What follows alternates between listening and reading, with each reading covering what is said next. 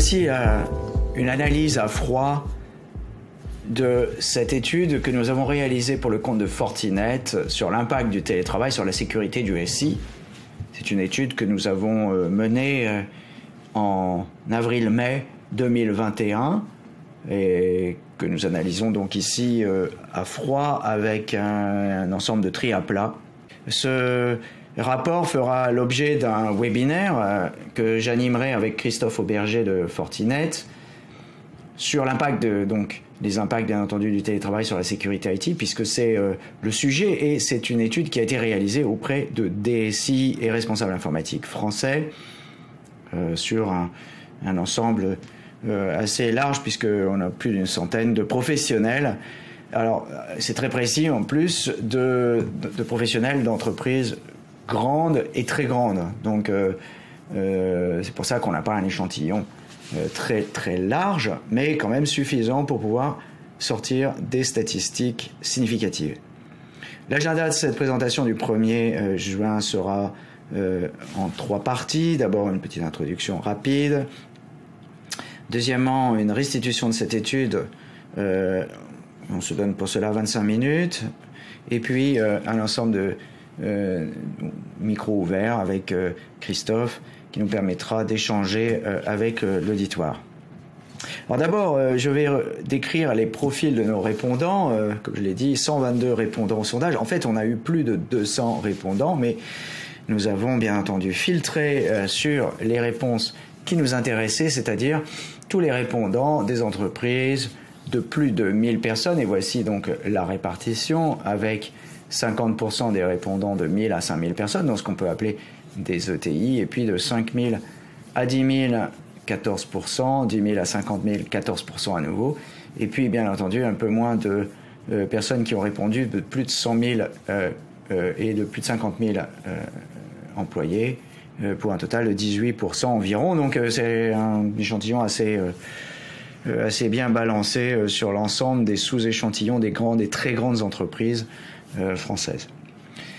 Donc ces fonctions euh, des répondants, euh, je dirais on peut les regrouper en trois. Euh, d'une part, des DSI et des CIO pour environ un tiers, un petit peu plus d'ailleurs un tiers. les responsables informatiques et ou au IT, puisque c'est le terme consacré aujourd'hui, près de 40%, et puis euh, un autre échantillon de 30%, donc ce qui nous permettra ensuite de tirer euh, des, euh, des même si bon, la base est assez, est assez faible, mais ça nous permettra quand même de faire des tri croisés avec quelques précautions méthodologiques d'usage. Les secteurs d'activité aussi qu'on peut regrouper environ en trois tiers à peu près égaux. D'abord euh, un tiers sur le famille IT télécom, un tiers sur les services dans lesquels on a aussi euh, inclus le service public, euh, les médias, les loisirs, le tourisme, la distribution, et puis environ 30% sur l'industrie, agriculture, énergie ou transport logistique. La sécurité, donc en situation de télétravail, Première question, euh, pensez-vous que votre entreprise est dans l'ensemble euh, vulnérable, plutôt vulnérable, plutôt protégée, très protégée? Et on a ici donc une majorité de réponses, mais pas, une majorité totale, mais une majorité relative de euh, plutôt protégée, avec 51 réponses. Et puis ensuite, je dirais, un, ensemble de réponses assez euh, assez euh, répartis sur les, différentes options. On a quand même, si on regroupe très protégés et plutôt protégés, une majorité d'entreprises qui pensent qu'ils sont plutôt, euh, plutôt à l'abri, mais plutôt protégés, ça reste quand même quelque chose d'assez d'assez relatif en matière de sécurité. Si on est plutôt protégé, ça veut dire qu'on est certainement quelque part un peu plutôt vulnérable. Avant la crise du Covid-19, parce qu'on a voulu mesurer comment ils sentaient les choses avant et après, considériez-vous que le télétravail était une menace pour la sécurité de votre SI euh, Alors, pour une majorité, euh, déjà euh, une sorte de conscience autour de cette importance du télétravail pour la sécurité avec 40% de répondants de plutôt importants et puis euh, de 23% de très important. Donc finalement, ici quelque chose qui vient quand même montrer une certaine inquiétude par rapport à, à cet état de fait. Et puis finalement le reste des répondants, pour environ 40%, qui pensent que c'est pas, ou plutôt pas important. Alors, comparaison entre avant et après. Euh, avant, très important de 23%, euh, puis après le Covid, après mars 2020, eh ben là, on voit une nette amélioration euh, des très importants. donc là, on, on prend carrément 12 points.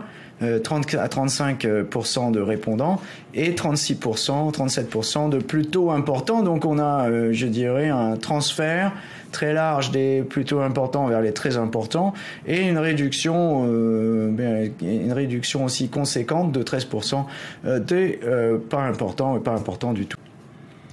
Nous avons ensuite voulu mesurer dans les circonstances actuelles, quels étaient les domaines du cloud où les responsables informatiques interrogés voyaient une menace plus particulière euh, dans cette situation de télétravail. Hein. C'est toujours cette situation de télétravail qui nous intéresse. Et donc, bien entendu, on a repris les trois catégories classiques du cloud, SaaS pour le Software as a Service, Infrastructure as a Service et Platform as a Service. Donc, pour les, gens qui ne sont pas familiers de l'informatique, mais qui sont intéressés par les problématiques de télétravail, le SaaS, ce sont les logiciels qu'on peut utiliser en ligne. Le IaaS, c'est l'infrastructure, c'est-à-dire acheter euh, des lames de serveurs euh, nus euh, sur euh, des espaces cloud et le PaaS c'est la même chose que le IaaS mais avec en, plus tout un outillage et des frameworks qui sont disponibles pour permettre les développements et, et, tout un environnement de développement intégré. Donc logiquement on voit bien le SaaS apparaître en premier ici avec 71% des réponses. Bien entendu il y avait plusieurs réponses possibles mais néanmoins on voit le IAS qui est très très bien placé ici dans cette euh, réponse. Et donc euh, on pourrait imaginer à l'origine, enfin c'était un peu mon, mon hypothèse de départ, c'était de croire que euh, finalement les informaticiens seraient plus suspicieux des utilisateurs lambda, mais finalement euh, les utilisateurs informaticiens, hein, puisque le IaaS et le PaaS euh, sont un usage exclusif des informaticiens, sont aussi euh, problématiques de, de cet usage de l'informatique et, et de, en situation de télétravail et de son importance sur, en termes d'impact sur la sécurité. Question numéro 6. Euh, quels sont les domaines du cloud euh, pour lesquels ces menaces de sécurité sont les plus importantes? On a voulu ici gratter un petit peu euh, au-delà des simplement du Space pour savoir où se situaient les dangers selon les informaticiens. Toujours, toujours pareil, on est dans du déclaratif. Et là, on a sorti volontairement Microsoft 365. nouveau, nouveau nom de Office 365 pour ceux qui ne le savent pas, euh, qui est euh, qui a été victime euh, récemment de d'attaques, plus particulièrement de vol de mots de passe, et ce qui a d'ailleurs obligé la plupart des utilisateurs informaticiens administrateurs de Microsoft 365 à mettre en place immédiatement la double authentification, et pour ceux qui ne l'ont pas fait, il est urgent de le faire. Première réponse, euh, en premier lieu, les applications métiers dans le cloud non agréées par la DSI. Donc on a voulu séparer celles qui étaient agréées et celles qui n'étaient pas agréées. Donc ça, je dirais, pas tellement, c'est pas tellement surprenant. C'est là qu'on va trouver euh, essentiellement euh, le shadow IT. Donc, je dirais pas de surprise, 63 réponses sur 122. Euh, mais, mais là où ça devient intéressant, c'est que la deuxième réponse, ce sont les applications agréées par la DSI de stockage partage de fichiers, et on a mis hors Microsoft, hein, puisqu'on a mis OneDrive à part. Euh, donc c'est intéressant puisque ces, outils de stockage, partage, pourtant agréés par la DSI, sont quand même considérés comme un élément euh, de brèche de sécurité potentielle. Troisième option euh, proposé dans, ce, dans cette question, les applications non agréées à nouveau par la DSI de stockage, partage de fichiers. Alors c'est assez intéressant parce que finalement on voit plus de réponses sur celles qui sont agréées que sur celles qui sont non agréées. Quelque part, ça veut peut-être dire quelque chose. Il est peut-être plus difficile de gérer en propre une application de stockage ou qu'on va héberger chez soi dans, une, dans une formule, je dirais, de cloud euh, privé que euh, une solution qui est finalement complètement outsourcée et où finalement aussi on outsource euh, la protection des données, la protection des utilisateurs. C'est intéressant, c'est un peu disruptif. Euh, je m'attendais pas à voir cela dans cet ordre-là. Microsoft 365 qu'on a voulu isoler donc est bien présent aussi dans cette réponse. Euh, mais en quatrième position, un petit peu en retrait. Euh, quelque part, ça nous donne une indication euh, sur la perception de la menace par rapport à ces, dernières attaques qui ont été assez virulentes hein, sur Microsoft 365, notamment chez les grandes entreprises, hein, puisque c'était elles qui étaient visées. Et puis en dernier, on verra les applications métiers dans le cloud agréées par la DSI, ce qui paraît logique. Quand même, 42 réponses sur 122, donc c'est pas négligeable. Finalement, tout le monde est un peu logé à la même enseigne. Il n'y a pas euh, finalement une catégorie par rapport à l'autre qui semblerait protégée. Alors, les différents types de menaces. De façon, euh, je dirais, non surprenante, on trouve le phishing en premier, à égale force, les rançongiciels. Je, je, ne sais pas si c'est un effet, encore une fois, ici on est dans la perception, euh, si c'est un effet de, je dirais, du bruit médiatique qui est fait autour du ransomware, je pense qu'en termes de nombre de menaces, on est certainement euh, très en deçà de ce qu'il y a en termes de phishing, mais par contre, la dangerosité euh, de la menace est particulièrement euh, accrue. Donc, notamment, il y a eu des cas très médiatisés pendant la période de confinement, notamment sur certains groupes d'hôpitaux, notamment dans le sud-est de la France. Les chevaux de Troie, un petit peu en retrait, puisque ce, je dirais un peu moins, euh, même si le cheveu 3 et le phishing sont en général liés, puisque euh, c'est par le phishing qu'on a réussi à introduire un cheval de 3 euh, par la suite. et alors le quatrième point, c'est là que j'ai trouvé quelque chose d'intéressant, parce que certes, on entend beaucoup parler des crypto-monnaies en ce moment, c'est particulièrement à la mode, et du coup, forcément, il y a une nouvelle forme de euh, menace de sécurité. C'est euh, au lieu de mettre, euh, comment dire, des verres qui vont venir s'installer sur votre ordinateur pour faire, mettons, envoyer des mails ou faire des choses qui sont ou passer des données ou, organiser des fuites de données, eh bien, on va tout bêtement installer un logiciel qui va faire du mining. Donc, qui va miner des crypto-monnaies et probablement du Bitcoin. En fait, c'est une façon de, euh, décentraliser euh, la ressource euh, de mining. Alors ensuite, les fuites de données par ingénierie sociale. Je suis étonné de le voir à ce niveau-là parce qu'on le sait depuis toujours, c'est une des menaces les plus importantes, fuite de données par ingénierie sociale. Mais le terme n'est pas très très joli, mais c'est-à-dire en fait le, fait d'avoir passé par une personne, de passer de l'information à l'extérieur, et ça vient souvent, 80% à peu près, de l'intérieur de l'entreprise. Et puis les fuites de données sans ingénierie sociale, donc euh, avec de la technologie. Puis ensuite, on va trouver euh, les anciennes formes, le DDoS, l'injection SQL, les vers, le man in the middle, tel qu'on connaissait dans les, dans les années 90. Euh, Et puis, ça un petit peu plus naissant, je pense qu'on en verra certainement beaucoup plus dans les années qui viennent, la composition des objets connectés.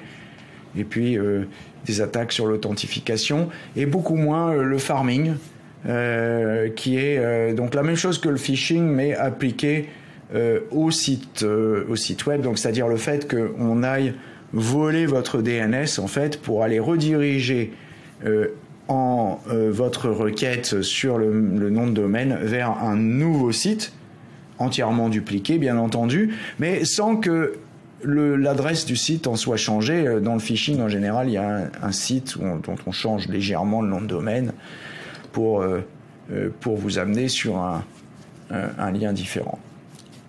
Question numéro 8. Dans les circonstances actuelles, quelles seront selon vous les meilleures solutions technologiques pour se prémunir des, des de sécurité? Eh bien là, on va trouver sans véritablement de, de comment dire, d'étonnement euh, la sécurisation des accès par token et authentification forte qui sont en train de s'imposer absolument partout avec euh, et ça, je dirais, c'est une généralisation, y compris dans le grand public, hein, puisqu'on le voit euh, avec la généralisation de l'authentification forte dans la banque, qui vient se, substituer au 3D Secure jugés pas assez solides. la sécurisation du cloud privé et public, ça c'est important également. La sécurisation des flux par VPN, là c'est une, méthode par le réseau qui est un petit peu plus un petit peu plus ancienne mais classique euh, aussi. Et puis la sécurisation des flux par SD1, Software Defined Wide Area Network. Donc ça, c'est des méthodes un peu plus modernes euh, qui sont en train de se, de se développer. Là où je suis euh, surpris, c'est la, la protection des terminaux, finalement, EDR, EPP, qui, qui est un peu en retrait. Et puis l'intelligence artificielle qui est euh, elle aussi euh, probablement euh, en phase de, développement et de d'amélioration. ce sont des outils qui vont permettre notamment par la détection des comportements anormaux. Alors ça, ça se fait déjà notamment dans la banque, hein, ça se fait déjà même depuis quelques années.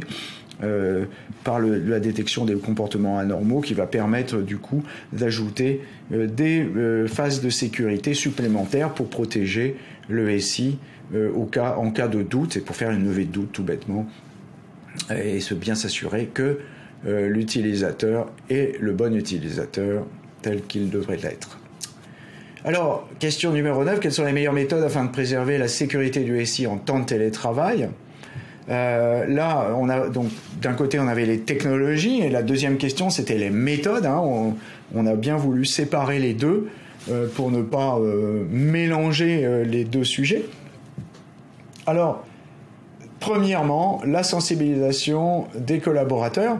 Des collaborateurs, comme on l'a vu, qui ne sont pas seulement des utilisateurs lambda, qui sont aussi euh, euh, des informaticiens, puisque des utilisateurs du IAS et du PAS.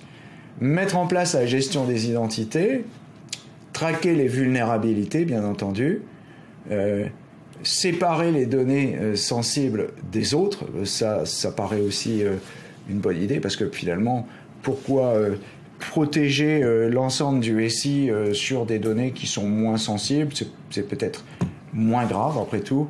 on peut peut-être aussi, comment dire, faire en sorte que ce soit ces données plus sensibles et plus proches de la production qui soient, qui soient favorisées en termes de protection. Hein, on le voit, que ce soit dans les attaques type WannaCry en 2018-17 ou celles qu'on a eues cette année sur les euh, les comment dire les euh, les hôpitaux euh, dont j'ai parlé tout à l'heure, ce sont essentiellement des données de production hein, qui sont visés et des, outils de production. En l'occurrence, sur les hôpitaux, c'était des outils sur les machines de radiographie qui sont des machines qui, fonctionnaient avec des, des, vieux systèmes Windows non mis à jour et non supportés, donc qui donc plus, plus protégés par euh, les antivirus euh, de, puisque, non supportés et surtout non mis à jour et qui finissaient par euh, bloquer l'intégralité du système de, de l'hôpital, aussi bien pour les accueils, les enregistrements, les sorties, les paiements, enfin tout était bloqué. Alors euh, voilà, définir des règles de mot de passe. Euh, en fait, euh, si on regarde ici, on trouve en fait qu'il n'y a pas une seule méthode qui soit une silver bullet. Il y a finalement un ensemble de méthodes qui sont assez contraignantes pour une DSI à mettre en place pour protéger le SI de, des différentes menaces. Troisièmement, la perception, et notamment du BYOD et du CYOD. Et la question, c'est est-ce que c'est un caractère aggravant de la sécurité du SI Là non plus, on n'est pas tellement surpris, mais la réponse est assez massive, euh, avec une, énorme majorité de tout à fait d'accord et de plutôt d'accord. Euh, seuls 6,5% qui sont plutôt en désaccord par rapport à cela. Alors face aux menaces, pensez-vous que les postes de travail de vos utilisateurs sont dans l'ensemble plutôt sécurisé, très sécurisé, même remarque tout à l'heure, plutôt sécurisé, 60%, mais en matière de sécurité, euh, les failles n'ont pas besoin d'être très grandes pour être dangereuses. Alors sur la sécurisation euh, des sites distants, euh, on a classé, on leur demandait de classer les risques suivant par ordre de priorité. Ben, en fait, on se retrouve avec plutôt la fuite de données, les lacunes en matière de sécurité et la susceptibilité aux, escroqueries par hameçonnage qui arrivent en tête de liste, suivi par à nouveau les fuites de données. Donc la fuite de données, on la voit partout. Donc c'est clairement euh, l'enjeu majeur, c'est de voir ces données partir à l'extérieur. Euh, parce que c'est normal, la donnée est devenue euh, le cœur de et, l'informatique sont devenus le cœur du business d'aujourd'hui, hein, que ce soit en, pour la prédiction ou pour le, tout bêtement l'exécution du business de tous les jours. Les lacunes en matière, de sécurité donc sont citées également assez régulièrement. Et puis, euh, on va trouver ensuite la vulnérabilité accrue au virus et aux logiciels malveillants, euh, euh, finalement moins, moins dans la tête de nos répondants. Un zoom également sur le Secure SD1, qui est, on a une réponse assez encourageante sur cette méthode, avec une réponse à étudier 37%, une réponse complémentaire à 33%, et même la meilleure réponse à 16%, donc j'irais plutôt dans, dans, le plutôt positif, on est dans une majorité écrasante, 95% euh, des réponses, si on prend euh, ces trois dernières possibilités. Voilà pour notre analyse, donc en 25 minutes, ce qui sera exactement le temps qui nous sera imparti lors de ce webinaire.